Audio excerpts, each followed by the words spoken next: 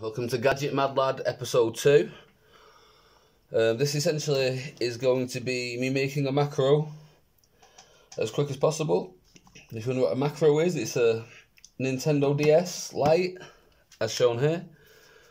Takes the DS game cart in there, it's reverse compatible. It's got a Game Boy Advance slot there at the bottom of it, but the thing is the Game Boy Advance, it's got a really crap, really, really rubbish backlight. So what people do is, with broken consoles, they take the top bit off, modify it a little bit. Take, I've taken the game. This is what I made earlier, essentially. They take the game cartridge slot out of this and make it so it just has this cartridge slot here. And I'll show you now. Obviously, I need to do a bit of work to this one, but there's no game at the moment. But I'll show you what I mean essentially what you do, you, you, you make it so it plays a Game Boy Advance games through the bottom screen automatically, and you make it so it automatically boots up when you put a gaming car in, when you put a game cartridge in, and lo and behold, when you turn it on, one second, it turns on. We get the Game Boy logo, and it boots into the Game Boy player and straight into the game, and you get a really nice backlit screen, really cool. An additional little thing as well is the top screen. Don't throw that away. If you've got a good, you know, um, screen on, on the top screen, it's the perfect thing to replace the bottom screen, touchscreen with if you want to take the touchscreen out. So, perfect size. Checked it earlier on, it definitely it, it fits as well. So, that's something I'll be doing when I, when I modified the game's housing, so the game console housing, to make it look more decent, because we can't just leave it looking like that.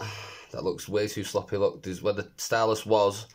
You can see this, the boards and shit inside, and then uh, not too good. I'm, I'm, we've only got one speaker in this as well, so I plan to put two speakers in. But the point is, I want to make a game of macro for zero. So the, the plan is there. I've got a Game Boy, uh, sorry, Nintendo DS Lite. The top screen is a little bit of a darker colour. It's not totally broke, but the thing itself is a bit glitchy. So I, I, I think it could do with the the macro touch, so shall we say. So my plan is to you need to you need to put a fuse into a certain spot on the board. So I've got this old strip of LEDs which has got some little fuses on. They are one five one on them. Probably not able to see that in the camera. I'm guessing that's not going to auto focus. Well, this is 151 and it, take my word for it, definitely does say that. So what we're going to do, we're going to take the fuse off this and we're going to put it into the bottom board on this, which I've got a board here to show you. This is the board from inside, not the, the one that's inside this, but this is another board I've got that's broken, it's got some water damage or something, but here, where we've got LED A2 and P06, the one below that, and the one directly below that, not to the right, but just directly below, there's a big gap. If you look as well with the fuse, it's actually slightly bigger than the gap. I doubt you're able to, I can't zoom in very well because I'm using my phone obviously at the moment, so it's a bit of a tricky thing to do, but I'll show you when we solder it in. uh, flip my solder iron on, so that's gonna be getting warm. Right, so that's that gone. Right, so let's get to cracking it open. Right, you've got some basic screws here. You've got a couple of uh, cross heads and a couple of um, Phillips, if you want to call them Phillips, um, and we've got a couple of tri wings, well, a few tri wings, should I say. So essentially, to start with, what we want to do, have a safe place for keeping your screws because it's easy enough to put the wrong screw in the wrong place and then you start cause start messing with things that aren't meant to be prodded by screws where because they're too long or something. So we don't want that happening. So what I'm going to do, I'm going to try and give you as thorough process as I can in regards to taking the, the screws out and putting them back in again. So first things first, we've got a screw that we don't need to worry about. One second, I'll just drop something on the floor there. Oh, no, it's nothing, don't worry. It's a bit of something or other. So, first things first, the first screw is over the battery cover. That doesn't come out, so just put this safely to one side and you should be okay. Inside here we've got the battery, which we will remove. Be careful if you're using a flathead screwdriver like I'm doing because it can pierce the battery and obviously you can have troubles there because it's lithium and I think everyone knows about lithium batteries being dangerous if you paste them or anything so enough said there. Right so we get to underneath the battery cover we've got two crosshead screws, two little crosshead screws. So what I do, I have this little pile here next to me, me screwdriver lid so to speak and I put the screws essentially next to, well, in in in a kind of order. So I remember, you know, like descending order. I take them out in, in like this will be screw screws number one to me. Number one and two came out first, so they're going last. Like now, I know there's sorry, there's two more crossheads which are slightly discoloured. So you can tell the difference between these ones and them ones. So to get the battery cover off, the back cover off in total, you need to have four crosshead screws and three, four, sorry, um, tri-wing screws. So two of the two up there, I've got like a yellowy kind of green tinge to them. These are the crosshead screws. The tiny little crosshead screws that are like D little things, they go into here and here. And our tri-wing screws are here, here, and here. But there also is a tri-wing screw in here, which I haven't actually got in it at the moment. I think I took it out for uh, just having a look at the board. I can't remember. Essentially, there's a, there's a tri-wing screw in there, but it's missing from this one. So there usually is four. There's three big ones and there's one little one. The little one goes into the DS cart slot port kind of thing, and the three bigger ones go into the, this one, this one, and this corner one here. So you put it back together again if that helps. Is my tri my tri-wing screwdriver. Stick it in, lefty loosey. We get the screw out. Put that to your side. Organise them as you prefer. But I just put them in little sets of the, the same size screw essentially, and I remember how, and that's how I remember to put them back in a certain order. So at this point now, we should have access to the innards, the glorious innards. So being careful here, obviously, what we want to do, we want to make sure the power button's down, and the volume button is to maximum, because this is the easiest way to click it back on again, and confirm we'll click back on when we click it back on, if you know what I mean, if you're following along.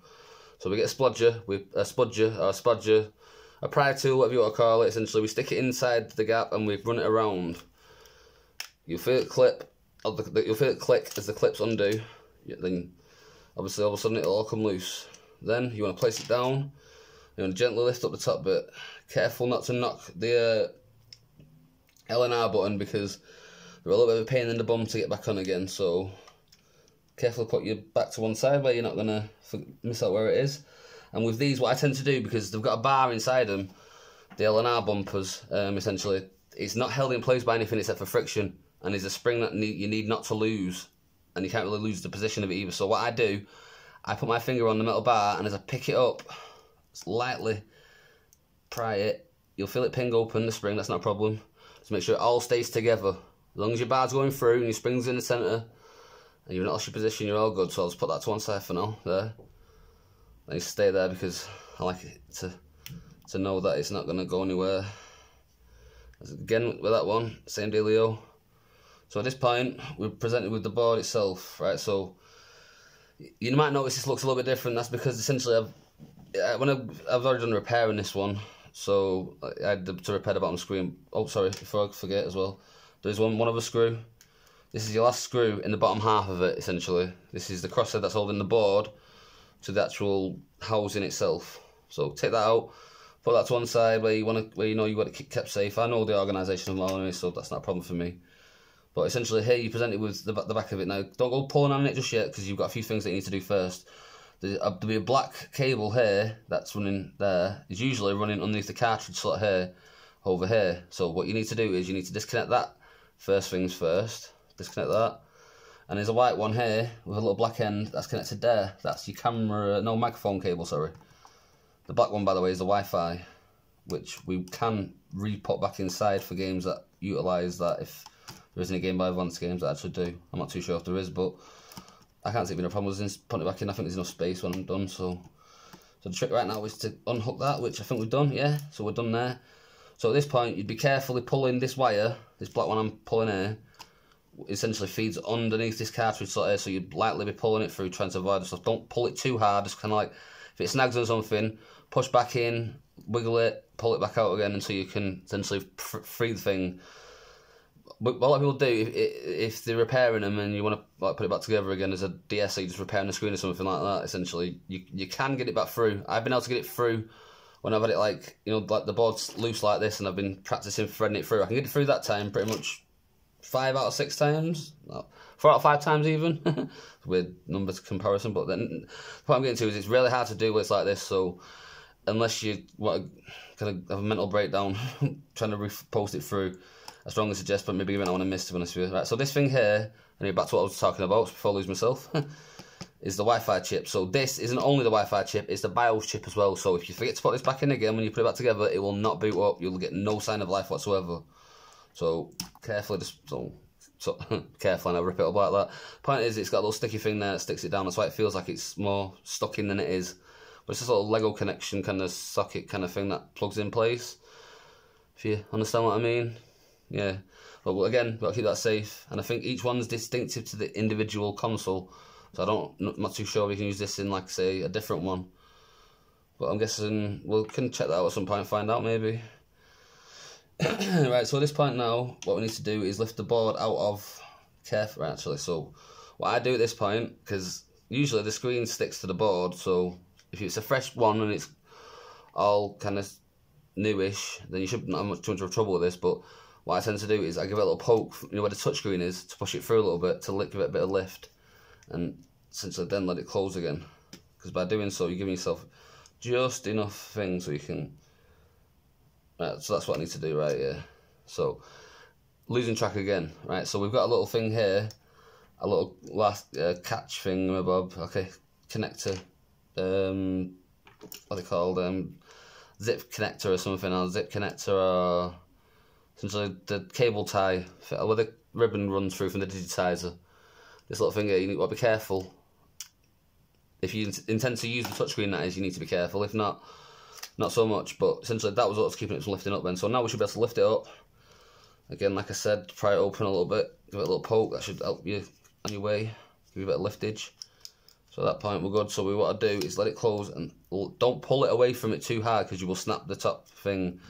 Again, obviously, if you're not asked about using the top screen, then do as you want. Essentially, just trying to not mess anything up too much, just because, just because essentially makes it easier to reuse it for parts or something or components or something. I like to use components from pretty much everything. So at this point we've got the board disconnected.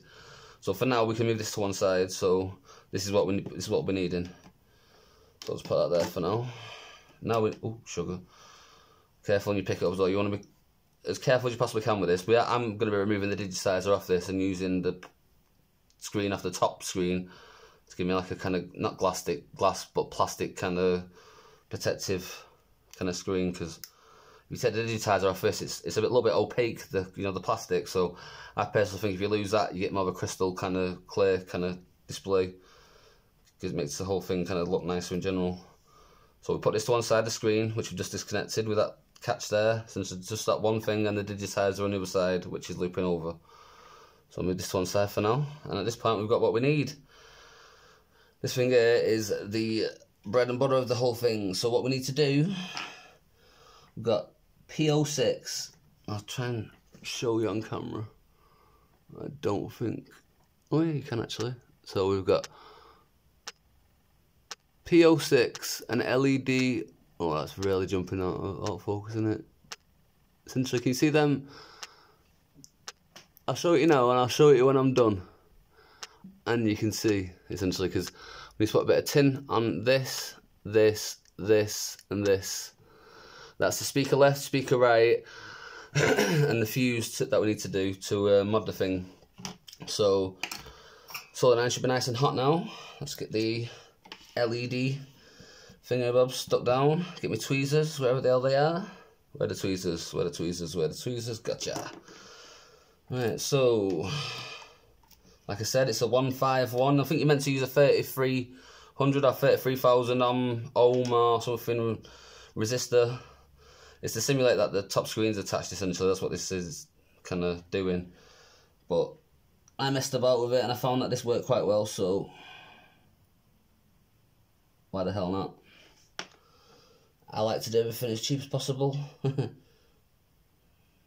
let's say I can salvage a part from another board that's going to be scrapped otherwise, bend it in landfill. That's never a good thing. Uh, that should lift that. So now we turn it on the other way. essentially what I did, I lift, leave it off because it's kind of like a paper material anyway. And this should, there we go, freed it up. Easy peasy, tiny little thing. So small. Right, so now we've got our little fuse that we need, so we'll move that out of the way. Bring this back into the limelight, get my solder. Put the tweezers to one side. And right now I'm going to solder the spots that I need to solder. So, a little bit of solder there. Some people, use, oh, I need to turn the solder down a little bit actually. What at uh, about 275 if that makes sense. That's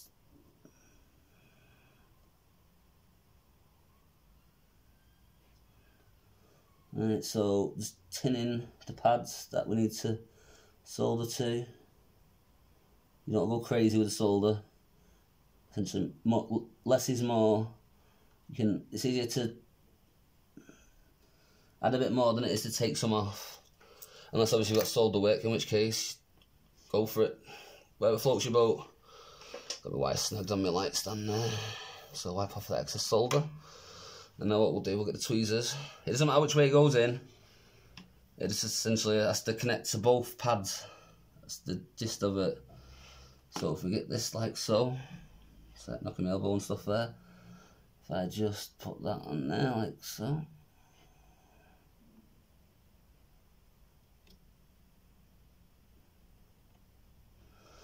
That's one side done.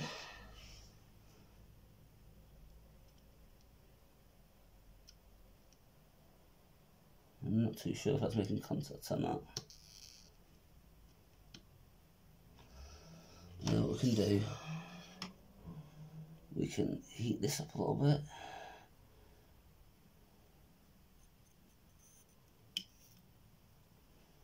Just be careful not to crush the fuse anything.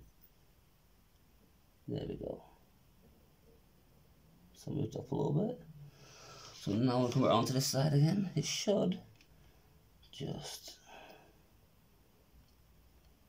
a little press. Lovely. Beautiful. That is a nice tidy little job, that actually must admit. And that essentially is the Game Boy Advance mod. That's it essentially. well, it's not it. There's more to it than that, but essentially, what we do now, we wire uh, the see the black wire. on, this is a speaker from the top side of it, which I can show you. I think I have it somewhere. Well, I'll tell you what. We'll just do it. Sod it. Right. So, as I said, that's that side done. Now for now. So what we'll do for tonight, we'll just add the one speaker. So and we'll lose the top screen because that sounds like fun to me. Right, so first things first, right, so let's just move this back out of the way again. We'll get come back to this in a second, the motherboard. So here we've got two crosshead screws holding the hinge in place, which essentially is quite easy to take out. So just unscrew them. You won't be needing these screws again probably, unless you want to keep them for spares or something. I mean, I'll keep them for spares because I might use them for different projects. So, why not? So that. So at this point we should be able to open. Yep, as you can see, we can. So, if I'm not mistaken, what we need to do right now is we. What you need to do essentially is. What care you take is at your own risk, obviously. I can't be responsible for you breaking your console or anything, but the trick is to give this a little pull. Uh, pliers are there. Maybe don't use pliers for you unless you've got a very steady hand, but essentially you need to pull that out of the hinge, frees that up. And then what we can do, we can free the ribbon cable by feeding it through this little slot that there is there, which should any second now. Be careful in feeding it through, obviously. Kind of hard to catch it, but you get it, you get it. Come on, you bugger. We'll get it, we'll get it. There we go, I think we got it. Nope.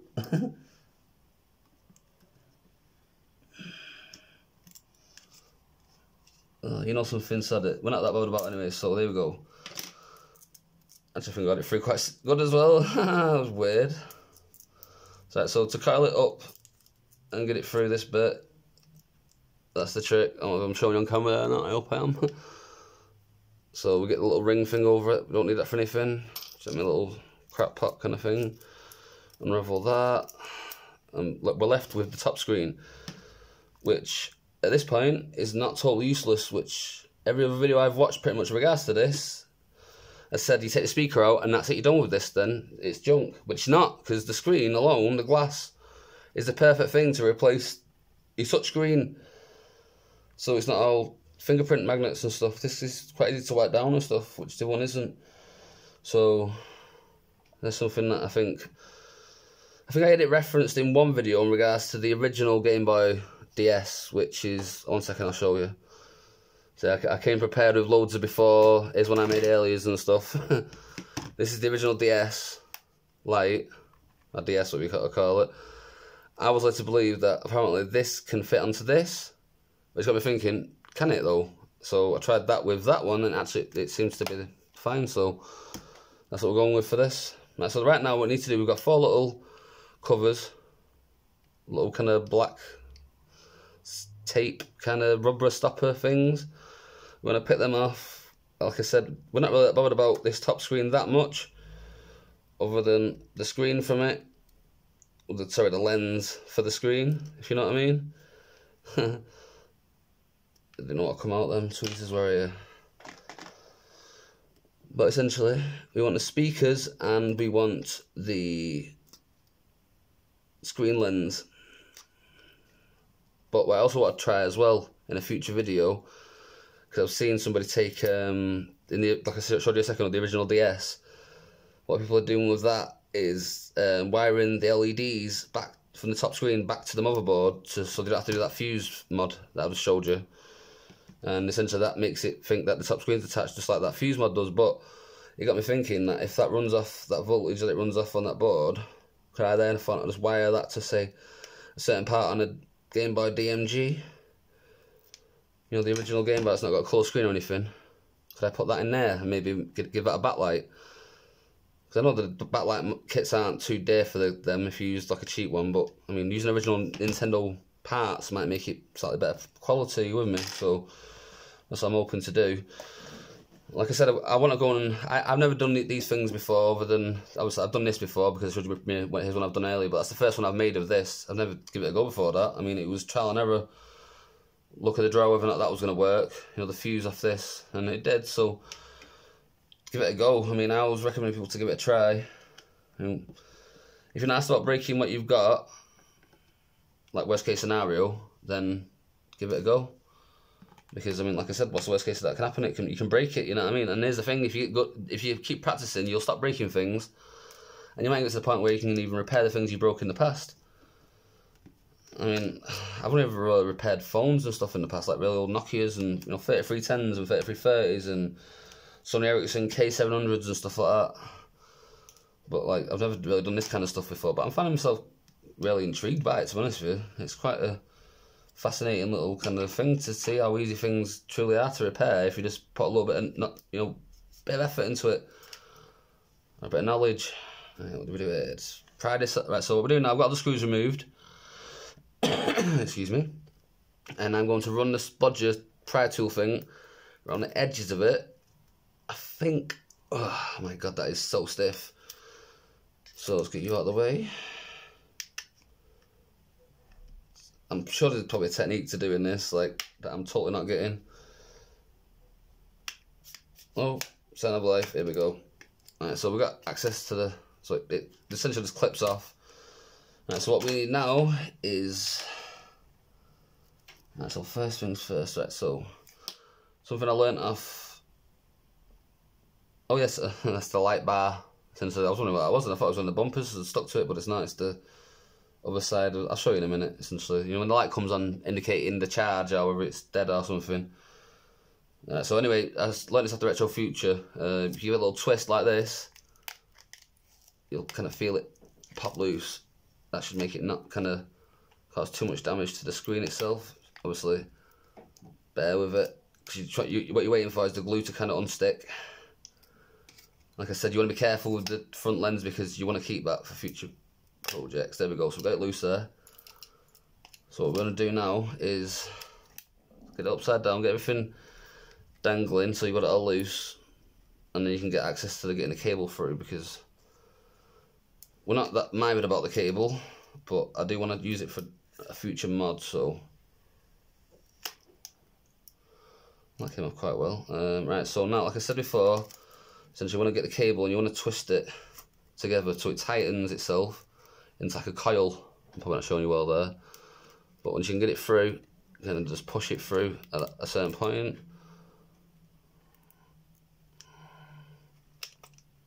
That's not what I work. Oh there we go. I've got it through. Obviously if you put if you're replacing a top screen or anything you need to be a lot more delicate than what I'm being here because as I say it will not survive. It otherwise you need to be really delicate with these top screens but you can see we've got all three there so we now we've got the, the, the microphone I think it is yeah the microphone and the Wi-Fi module free as well which is the black cable is the Wi-Fi one the white cable with the little black thing on the end of it is the microphone one so at this point we've got a top screen with a ribbon cable attached to it and we've got a little pad next to it with two things soldered to that. So what we need, now need to do is pull this longer one free because this is the only one we're going to be doing tonight. I will do it when, when I do the, the, the, housings on the other ones, which not to be for a couple episodes yet, but when I get to that point, I will be doing double speakers. I'll be going through the process and everything, so obviously tune back in for that. Um, I'm sorry if I've gone a bit too much with me talking. I get a bit nervous and lose myself sometimes, but now we're essentially we're unsoldering the, the red and the black wire from the longest speaker. So essentially give it a little touch and it should just come it easy. Now we've got this now, essentially that's ready to be put into the bottom side, which I'll show you exactly where it goes. Right, so for now, I'll go back in there. Right, what we'll do, before we carry on, I'll show you the motherboard. So before, when I showed you where the pads were, you can now see, hopefully, well, that's all focusing on that. Can you see where the tinder pads and where I've got the fuse connected between? So the PO6 one, it's the pad directly below that. That's the, where the top bit of it's connected, and the bottom bit is like the the, the furthest pad to the bottom of that. We've got SPL zero and SPR sorry SPL zero and SPR zero that have been tinned as well. You might see it's a bit blackened because it's soldering iron, but there, this left and right speaker, SPL0 is the left speaker, and SPR0 is the right speaker. So what you'll be doing is you'll be soldering the red wire to SPL for the left speaker, for the red wire for the left speaker, sorry, and the red wire from the right speaker will go on to SPR0. And the, the, if you're wondering where you put your, the black wire, it's quite simple. If you look on the headphone jack on it it, the port, sorry, the, the connection, sorry, I'm looking for, the leg, sorry, closest to the edge of the board. You see a little minus sign next to that.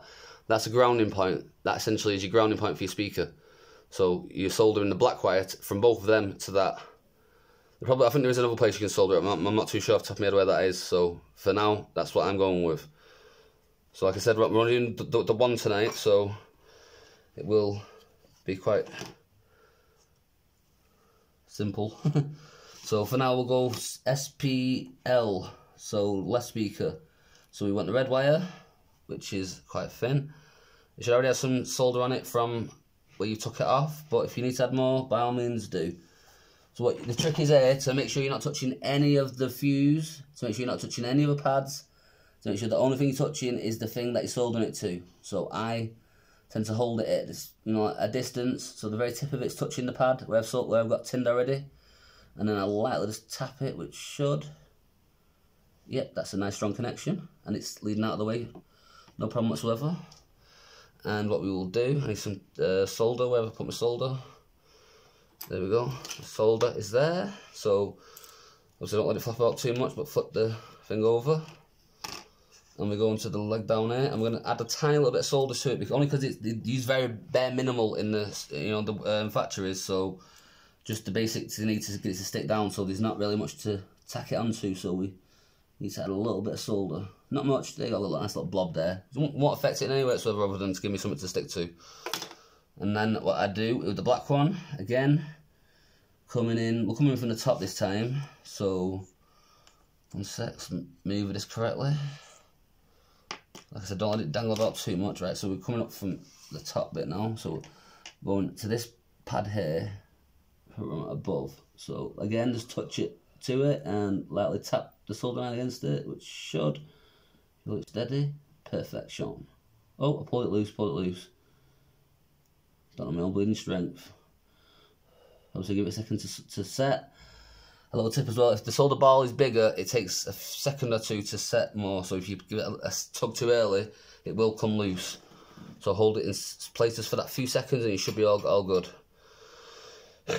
right, so uh, the point is, this the point of this is essentially if you just snap the top screen off, it won't turn on because it needs to check for the top light being connected to the motherboard. That's why you need to do all this stuff essentially. And there's no speakers in the bottom of it, so this is the way. That's the whole point of the speaker mod is to put the speakers in there.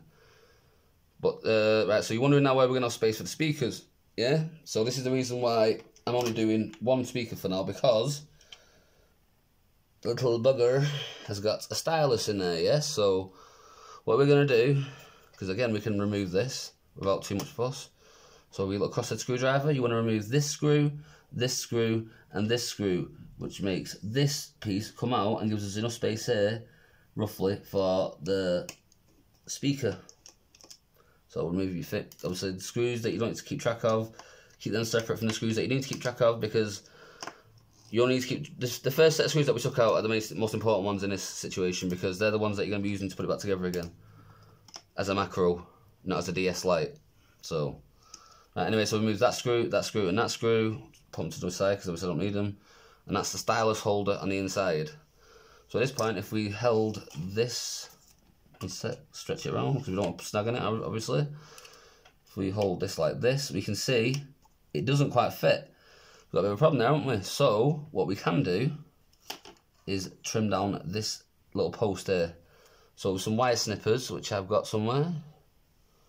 Let me wire snippers. Wire snippers. Hey, boy. uh, five wire snippers. Just give me a second, I'll find them. Oh, bugger, don't pay to them nearby. Um, improvise, improvise, improvise. What can we use? What can we use? What can we use? Pliers would they work? maybe. Uh, with 40 players. there we go next to me. So, this little section here, hopefully it's not anything too important, but what we will do, obviously you got to be careful not to do that because I think that's a screw post. Maybe, not definite, but maybe. Right, so, just lightly snap it away. It's quite brittle plastic, so it shouldn't be too hard to do.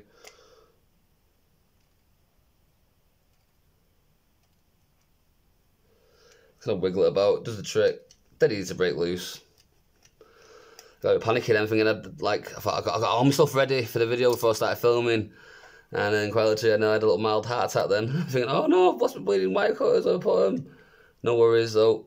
Improvisation skills to the full and I've managed to find a way around it. So that's perfect now. So we should have just enough space there now for a speaker. Which I will show you. It should fit there. Yes, perfect. Lovely it does. Right, so now we want to put it back together again. That's the trick now. So what we want to do is, we don't need that for this now. Where are we, where are we? Right, so the front bit of it. Front bit of the thing we've got here, yeah? So now got, is what we're going to do. Be a bit lopsided because you've still got your, your other post in place. So we've got our screen back, our touch screen, which is sticking to everything. Bugger. Right, there we go. So we've got this back. For now, we're not going to reconnect the digitizer, but we are going to reconnect this bit because that's important. So at this point now, we're going to, let the thing dangle for a second while we just get this prepared. You can obviously what position it it is according to sort not snagging anything preferably. Because if it snags and stuff, you're going to cause yourself more troubles down the line. So make sure your flaps open. You feed it in like so. Right, so put it in, into position like this. So right, so the Game Boy Advance cart is pointing this way. the DS card slot is pointing this way. The screen is in that orientation. We place it down like so. Line it up with the thingamabob, the slot. That's what I do. And I get my, little, my thumbnail and I give it a little poke either side. And that tends to like to like jimmy into place. Give it a little wiggle again. Don't go too firmly and be very careful. And then gently put the flat back down again, which is always a bugger to get back down again, but it always goes back down. So there you go, that's that back into place again. So we're all good with on that front. Right, so now what we want to do, we want to position the wire as we need it. So we are going, where's it going to be? Right, so it's going to be over here. So we want to put the wire around the battery. That's for battery terminal, sorry, battery terminal. So run it over there, if you look, see over that, through that, round that, pushed it down. In mind, this will all be out. Oh, we're a bit snug there, aren't we? That'll be okay to go over a little bit. We will be removing this at some point, which I'm going to come back, I'll show you how to do that. I've already done it on the other one. Oh, almost nearly forgot as well. So, this, essentially, you need to put back in. So, now we just oh, get it back in place. uh, fingers and thumbs there. Right, so line it up, click it, should just, I'm holding it the wrong way around, that's why it's not fastening in. right, so get it over the right bit, obviously. You'll feel it like click into place, so there we go back into place again. Very important that you put this back in. So at this point we're good to go again. Wires are all connected. Run that one around that, so that's what we can do. Can run that over there like that. That'll probably be better to be honest with you. So there you go, we've got a nice position for our speaker now. Get our wires out of the way. It's never good to have wires in the way. We could probably trim these down to be honest with you. This is probably a good idea to do. To trim these to the right size. Um, so for now that'll do. So let's get it back into its slot. So it should be quite easy to get back into position again since you've got post posts and stuff to align it, you with me? So the screen itself will line up okay-ish. It should do. I think that's okay. So hold that in place, make sure all good. Screen's not fully aligned now, but it'll it'll do for now. It'll clip back in when the screws tighten up. Right, so what we need to do now is place that down carefully. First things first is we pick up the bumper buttons, because we put it back together then, and then we're all done. So not long now, right near the end. And so put that into the putty's post. Don't do anything with it other than rest it in the post for now. We'll come back to this in a second. Same with this one, keep them together, put it in the post. Dealio, done. Right, so now what we need to do something like a flat screwdriver, something like that. Lightly press down the bar into the post holder. Get the little bit of spring that's sticking out and so like ping it around and there's a tiny little catch there that you need to hook it onto. Press down so it goes right to the bottom of the catch. And then voila. Your L and R button will be back into place. Obviously it's a bit finicky so be very careful, watch the spring doesn't ping off or anything. This is why I always recommend holding the bar into place whilst you do this. That's why I can't essentially give you the best view on camera. A uh, little side note as well, I'm getting my good laptop back uh, in a week or two. So editing should be easy enough to do then. So at the moment I've got a crap laptop and I can't edit on it for, for nothing. It's terrible, seriously. It's not the worst specs, but it's still I can't edit on it. It's really really bad. The point is, so these are continuous videos for this reason. So well, you will be getting a slightly high quality soon, but not just yet. Right, so now we're putting the back back on. Make sure you've got your wires and stuff out of it. Wave any screw holes or anything. So which I think we're all good there. I think we might have a bit of wire sticking out when we're done because obviously, all right, yeah, as well, I forgot to say. So make sure your volume rocker is on set to full. Make sure your power is down because they will catch otherwise. You don't want to do that. So your volume thing, make sure that's set to full.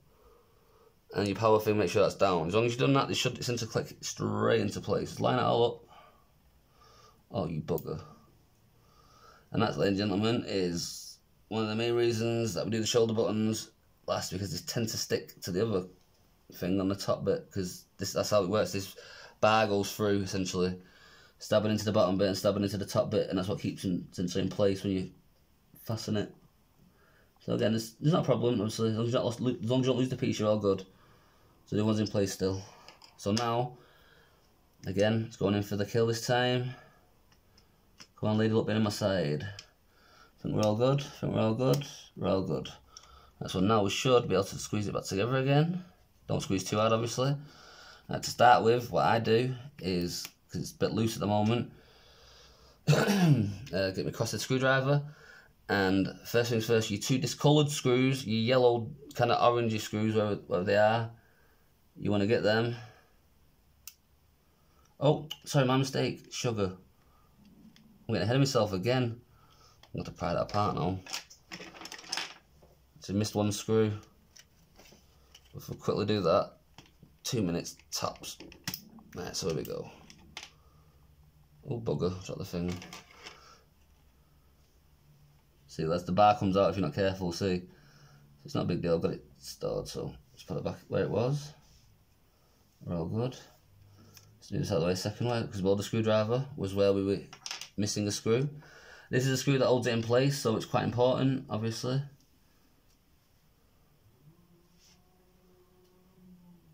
Um, just find the right screw. Misplaced my bleeding if it wasn't screwed on properly. so, screw goes in, crosshead screw it is. I'm going to get it not too tight, but tight enough. That's that held in place now. So now, as we were, we can carry on doing what we're doing. So, speaker there, that there. I need to put the spring back into place, don't I? So, let's pop that spring for the third time, I think, now we're on.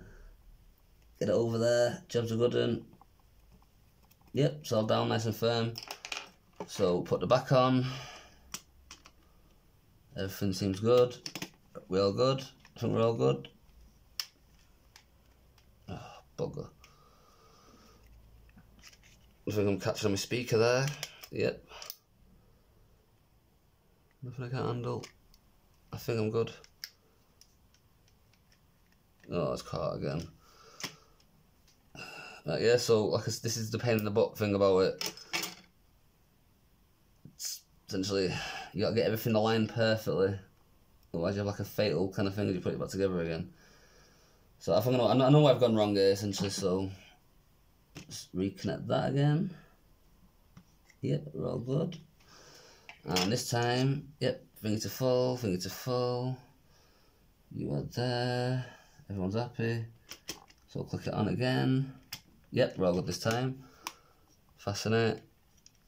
Fasten it. Fasten it. Fasten it. It's all good. Yep, well done. Button's working. Thing's working. Volume's working. We're all lined up. Lovely jubbly. Right, so as I was saying, first things first, we'll get your discolored screws. You want to put your Discord screws into your slot at the top there, holding it in place. You want your crosshead screwdriver and you want to screw these in as quickly as you can. Not obviously don't rush too much because you'll might end up messing something up. But at this point now we should be able to not, you, know, you have to pin it together. So that at this point we're all good. Roll the buttons. Yeah, all feels fine. Right, so what we're gonna do now, we're gonna stick our screws back in. Which I will give an in-depth tear down slash throw, throw back together again where I since I describe every single screw as we take it out and every and then as we put it back together again, I'll describe every single screw where they go. So if you want that, comment or something and I'll get on to doing that for you. So crosshead screw, crosshead screw, crosshead screw, crosshead screw. These two are the discoloured ones.